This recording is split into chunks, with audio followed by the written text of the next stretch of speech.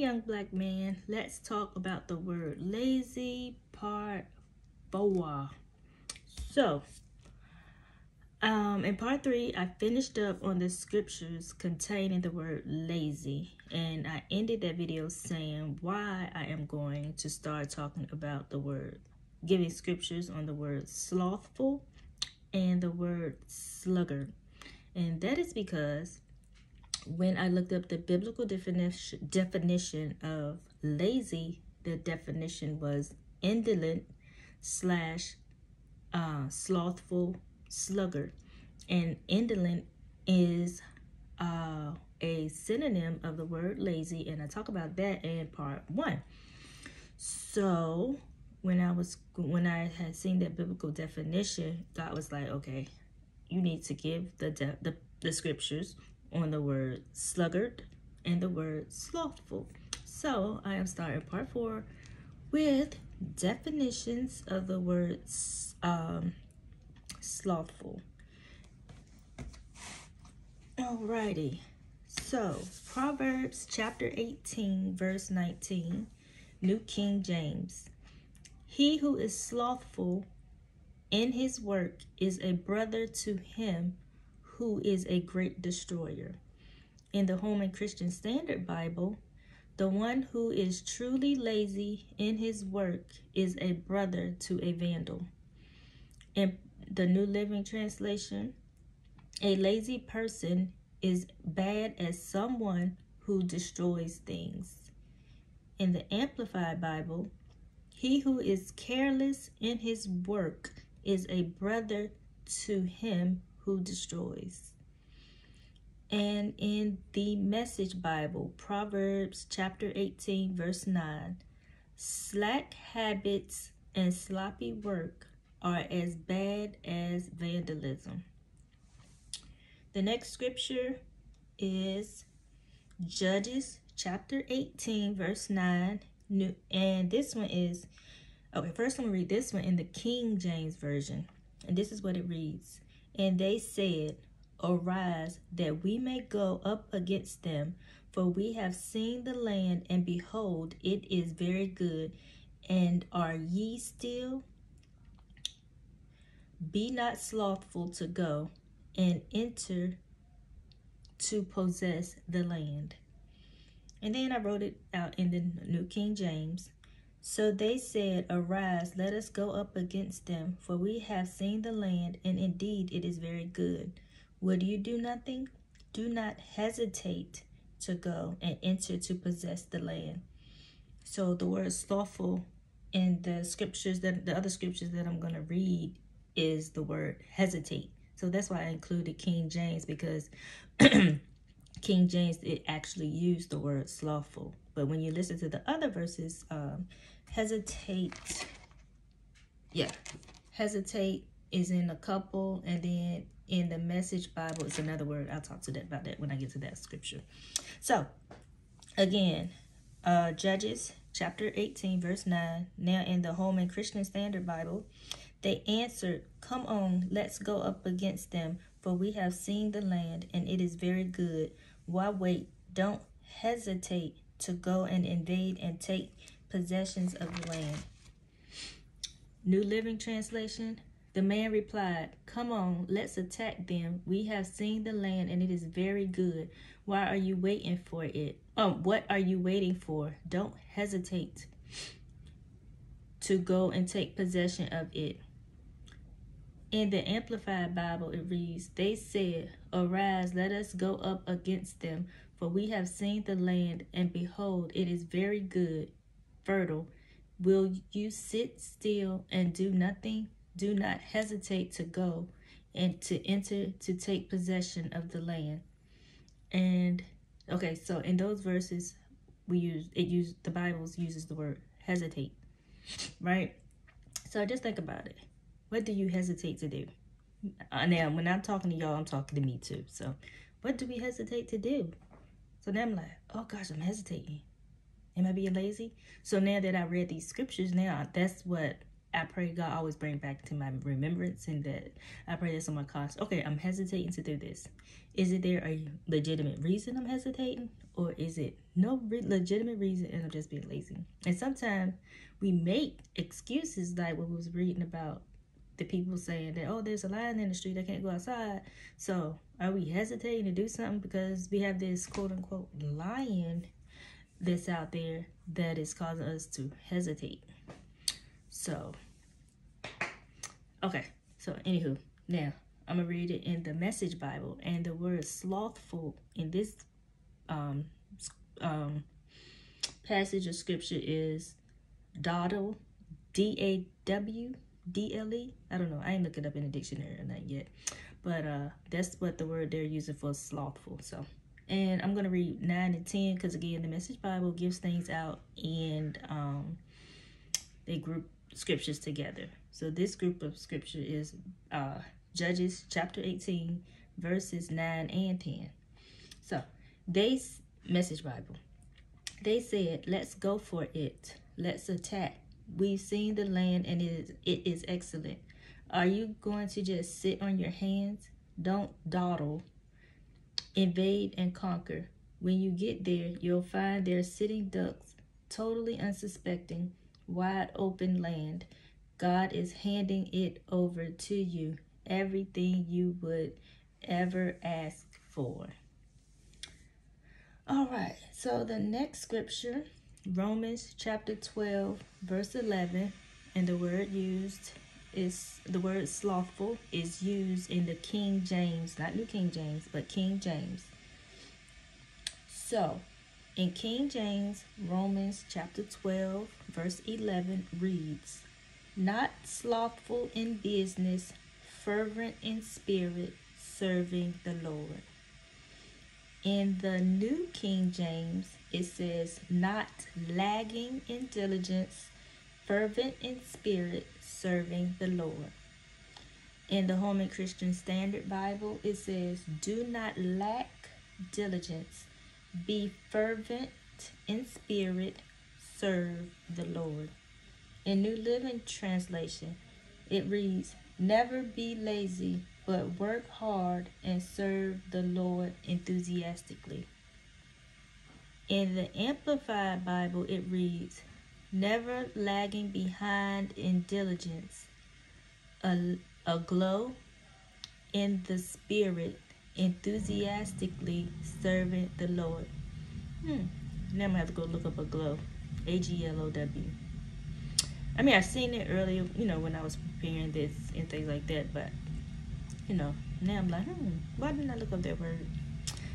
Uh, and lastly, Romans chapter 12, and then in the Message Bible, it has verse 11, but it goes to 13.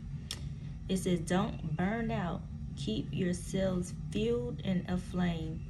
Be alert, servants of the Master, cheerfully expected. Don't quit, don't quit in hard times. Pray all the harder. Help the help needy Christians be inventive in hospitality. So that is Romans chapter 12, verse 11. So now we're going over to, oh, real quick in these scriptures, real quick, uh, slothful, we have the different words used lagging, lack, lazy, and burnout. So just keep that in mind, you know, words from being slothful. Okay, next scripture Hebrews chapter 6, verse 12, King James Version. That ye be not slothful, but followers followers of them who through faith and patience inherit the promise. In the New King James, it reads, That you do not become sluggish, but imitate those who through faith and patience inherit the promise promises. Holman Christian Standard Bible. So that you won't become lazy, but will be imitators of those who inherit the promises through faith and perseverance. New Living Translation, then you will not become spiritually dull and indifferent. Instead, you will follow the example of those who are going to inherit God's promises because of their faith and endurance. Amplified Bible. So that you will not be spiritually sluggish, but will instead be imitators of those who through faith lean on God with absolute trust and confidence in Him and in His power, and by patient endurance, even when suffering and now even when suffering and now inheriting the promises. And lastly, Hebrews chapter 6, verse 12 in the message. And so, again, as I always say, it's a group of scriptures. And so, it's going to talk, I'm going to read verses 9 through 12 in the Message Bible. It reads, I'm sure I'm sure that won't happen to you, friends. I have better things in mind for you. Salvation things. God doesn't miss anything. He knows perfectly well all the love you've shown shown him by helping needy Christians. And that you keep at it. And now I want each of you to extend the same intensity toward a full-bodied hope and keep at it till the finish. Don't drag your feet. Be like those who stay the course with committed faith and then get everything promised to them. So that was the last scripture for the word slothful. And the, the different words used for slothful in the different translations sluggish, lazy, spiritually dull. Hmm, are you spiritually dull in some things? You know? Hmm. Are you spiritually dull in certain things of Christ? Are you are you spiritually dull of prayer? Are you spiritually dull in worship? Are you spiritually dull in um in warfare? Are you are you spiritually dull when um about deliverance? Are you spiritually dull in showing love the godly way. So are you spiritually love spiritually dull, you know, in those in those areas. So I just wanted to hold on one second. Yes. Um, what are you doing? I'm doing my video. It's recording, just FYI. So, no, I cannot because I'm posting this one. So I'm almost done. I just gotta finish these scriptures. I just got. Where's I'll tell he be right back. He can call you when he on his way back. Okay? I'm almost done. Okay. Now I'm just gonna go over the scriptures on sluggard. And it's only two scriptures, but I'm gonna read them in the different translations, okay? So the first one, Proverbs chapter 6, verse 6 in the New King James. Go to the ant, you sluggard, consider her ways and be wise. Holman Christian Standard Bible. Go to the ant, you slacker. Observe her ways and become wise. New Living Translation. Take a lesson from the ants, you lazy bones. Learn from their ways and become wise. Amplified Bible. Go to the ant, O lazy one. Observe her ways and be wise. And again, lastly, we're going to read Proverbs 6, chapter 6, verse 6 in the message, but it includes verses 6 through 11. And it reads, You lazy fool, look at an ant. Watch it closely. Let it teach you a thing or two. Nobody has to tell it what to do. All summer it stores up food. At harvest, it stockpiles provisions. So how long are you going to laze around, do nothing, how long before you get out of bed? A nap here, a nap there, a day off here, a day off there. Sit back, take it easy. You don't do you know what comes next? Just this. You can look forward to a dirt poor poverty poor life. Po poverty, your permanent house guest. And last scripture is and the last scripture in this whole session and the last scripture on the word sluggard. Proverbs chapter 6, verse 9. In the New King James reads, How long will you slumber, O sluggard? When will you rise from your sleep? Holman Christian Standard Bible. How long will you stay in bed, you slacker? When will you get up from your sleep? In the New Living Translation. But you lazy bones, how long will you sleep? When will you wake up? In the Amplified Bible. How long will you lie down, O lazy one? When will you arise from your sleep and learn self-discipline? And lastly, Proverbs chapter 6, verse 9 in the Message Bible. And it includes verses 6 through 11. I just read it, but guess what? I'm going to read it again. You lazy fool, look at an ant, watch it closely. Let it teach you a thing or two. Nobody has to tell it what to do. All summer, it stores up food. At harvest, it stockpiles provisions. So how long are you going to laze around doing nothing? How long before you get out of bed? A nap here, a nap there, a day off here, a day off there. Sit back, take it easy. Do you know what comes next? Just this. You look forward to a dirt poor life, poverty, your permanent house guest. And so, I can't, for the word sluggard, the Bible's ver versions I use for the word sluggard in the different versions, you got slacker, lazy bones, lazy one, lazy fool. And for the word sluggard, ooh, hold on, sorry.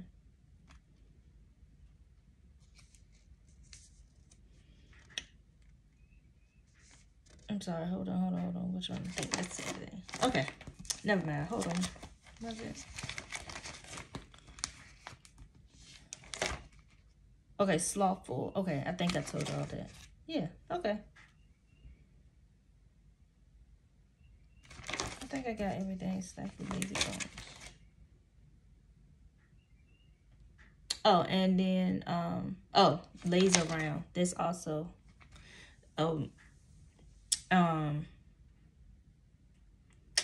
the word for the word sluggard. So when I when I think about that, like, hmm, do I just be laying around, you know, lays around?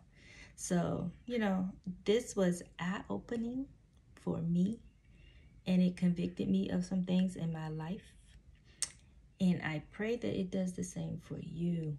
So um, I really hope that you listen to have well you want this is part four. So i hope you have listened to parts one through three. Is i think it's very good. Part one is the longest. It's 30 minutes. So it's on tiktok up to like nine minutes and 46 seconds. But if you go to my youtube i'm gonna place all these videos because this one's gonna have to go on youtube is on youtube.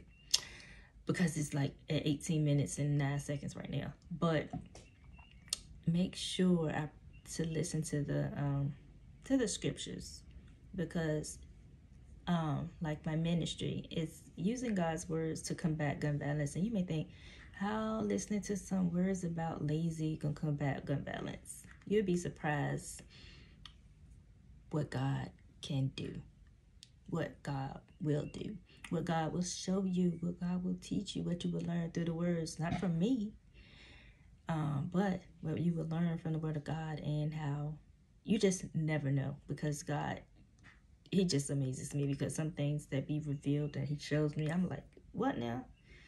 Like, and then I'd be just like, oh, I see it now. And then some things he'll show you to do, but the thing is you have to be obedient. So I pray that you be obedient to the things that you have read. Um, and that's about it. So y'all be blessed and may laziness be broken off of your life in the name of Jesus, off my life in the name of Jesus, my family's life in the name of Jesus, my kids in the name of Jesus. May be broken off of your family in the name of Jesus. And may we walk in diligence. but again, look at, listen to part one if you haven't. And those synonyms and antonyms, I'm telling you, they're going to stick out to you. The antonyms mean words that are um, different, opposite of lazy, and how we want to be. The synonyms words are the same. And I remember in elementary school, I remember synonym S same. So synonyms words that are similar, the same as lazy, which we do not want to be. And just listen to the words and see how many stick out to you. Like, wow, somebody called me this, or wow, I said this about myself, or wow, I said this about somebody else. And I want you to pray and ask God for forgiveness for saying that you are lazy and for saying that other people are lazy as well. So, y'all be blessed.